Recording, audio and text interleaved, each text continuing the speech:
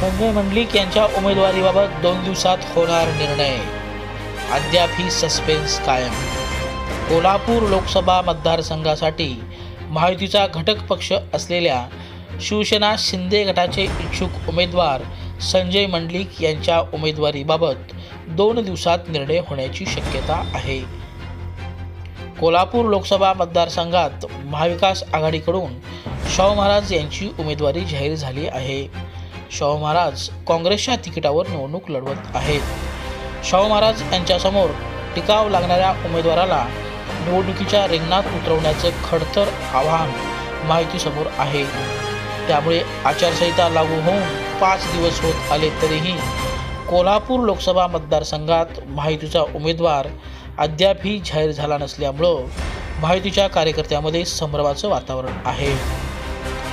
दरम्यान कोल्हापूर लोकसभा मतदारसंघाची जागा भाजप आपल्या पदरात पाडून घेण्यास उत्सुक असल्यामुळं संजय मंडलिक यांच्या उमेदवारीबाबतचा निर्णय अद्याप झालेला नाही अशी चर्चा आहे. महायुतीचा उमेदवार अद्यापही जाहीर न झाल्यामुळं well beginning is half done या उक्तीप्रमाणे शाहू महाराज यांनी कोल्हापूर लोकसभा मतदारसंघात सध्या आघाडी घेतल्याचं चित्र आहे. प्रतिनिधी संदीप खवळे महाराष्ट्र जन्मवार्ता कोल्हापूर.